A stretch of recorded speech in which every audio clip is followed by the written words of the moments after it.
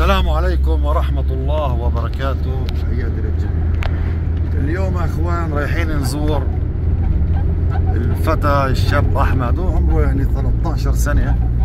نقدر نقول إنه يعني فتى شاب. المهم رايحين اليوم نزوره رنوا علي أهله. طلع من ال... من الانعاش والحمد لله. والآن بنقدر المرة الأولى بتعرفوا بقى في العناية المركزة ما عرفناش هلقيتها طلع على الغرف. ونروح نسلم على الجماعة. طبعا قلت لكم هو جابوه من جنين على مستشفى الاستشاري اللي هو جنبنا في رام الله يعني قريب علينا.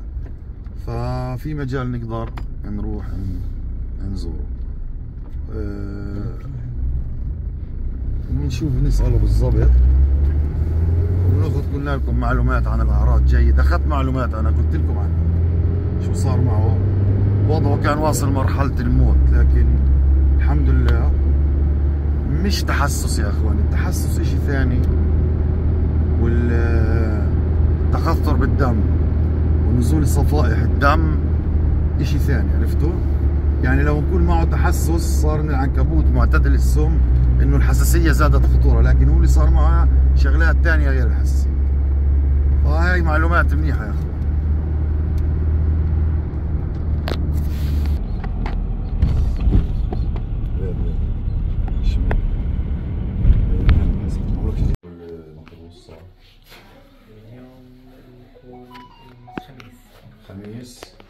جمعة سبت ثلاث أيام. آه ثلاث أيام طبعا اليوم يا إخوان طلع أحمد من العناية المركزة اللي قلنا لكم عنه لدغة عنكبوت. مكان اللدغة كان حساس هنا كثير. طبعا العناكب الأرامل بشكل عام سنة بتشتغل على الأعصاب. وأثرت عليه على الأعصاب والدم. لو بدنا نقول صار معه تحسس بكون التحسس مش سبب في نزول كريات الدم اللي هي صفائح الدم اسف في صفائح الدم لكن اللي تحسنت طلعت ل 120 صار. امبارح قال لي الدكتور إنها طلعت من 100 ل 120 من 60 ل 120 آه. طبعا الحمد لله تحسن وبلش الورم يخف. وطلع من العناية الحمد لله. كل شيء تمام أحمد. يعني كم يوم بتروح؟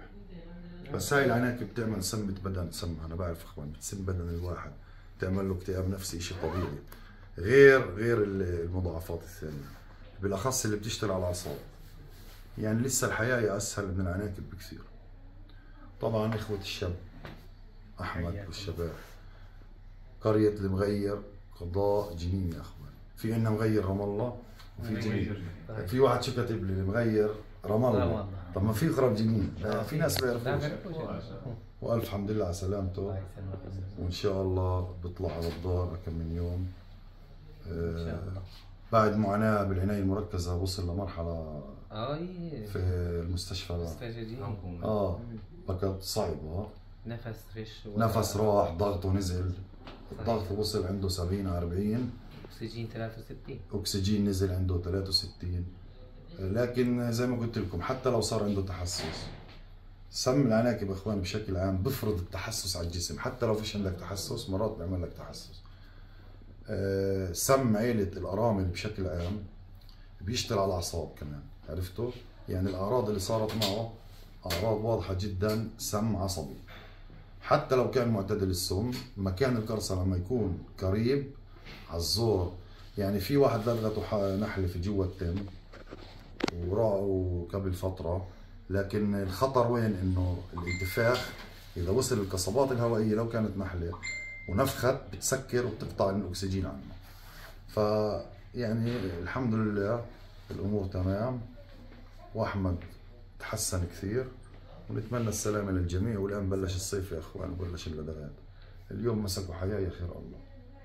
الناس واللي مكروس من عنكبوت واللي من نحله لكن حسب المكان.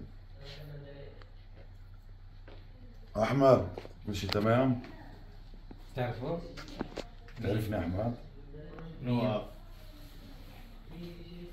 فيش أنا؟ احكيش متذكر اسمي. جمال موسى طبعا أحمد صار عنده عشان الأعصاب شوي كان عنده تقل بالحكي صح؟ صحيح. كان عنده تكل بالحكي. أولها من شدة الأعصاب. طبعا هذا الحكي يا أخوان صار مع شخص آه، مره كرسه الصل الأسود. هسا الأرملة السوداء بدي أعطيكم معلومة عنها. اللي هي السوداء أو الأرملة السوداء اللي على بطنها أحمر أعراضها زي أعراض الصل الأسود. عرفتوا كيف؟ بعدين تصير تتصنف هي اللي هي أشكال نفسها أرملة من العيلة لكن آه، على اختلاف. بصير السم إيش؟ يضعف شوي شوي لكن ما بنقدر نقول خفيف متوسط لكن إذا كان مكان القرصه حساس زي ما قلت لكم بصير خطر. آه، نفس اعراض الأرملة السوداء تعمل الصل. اللي قرص الصل الخطرة أنا بحكي. اللي قرص الصل يا أخوان جبته عندي هاي في له فيديو على اليوتيوب. شرح لي بالضبط. قال لي أنا صرت زي السكران وبحكي وبخربط. ليش؟ لأنه بأثر على الأعصاب. فهاي معلومات أنا كنت أجيبها من المكروسين نفسهم. الصل عندنا مرة واحدة إخوان مر علي واحد انكرس منه ما حدا مر ثاني فكان فرصة نأخذ معلومات شو بصير معاه. طبعا الأرملة السوداء العادية بحكي الخطرة أعراضها نفس الصل. معتدلة السمنة عم بجوز لو كانت كرسه مثلا أحمد في الإجر ممكن تختلف لكن المنطقة هان قريبة على مجمع أعصاب الرقبه آه، الوجه بالضبط على الدنين. عرفتوا كيف؟ عشان هيك صار عندهم مضاعفات قوية. وهذا اللي صار يا إخوان وإن شاء الله ما تشوفوا شر. وألف حمد لله على الله سلامتك. يسلمك عبد الله حياكم سلامتك أحمد. الله يسلمك. تنسوا يا إخوان فضلا وليس امرا. اللي بيحب يتابعني على تيك توك هاي رابط التيك توك على الوصف وعلى التعليقات. والسلام عليكم.